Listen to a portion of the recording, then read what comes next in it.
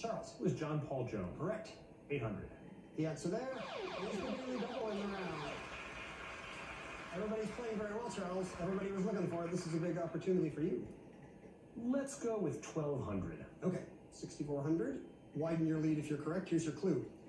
On August 2nd, 1964, North Vietnamese torpedo boats fired on the Maddox, a U.S. destroyer, in this body of water.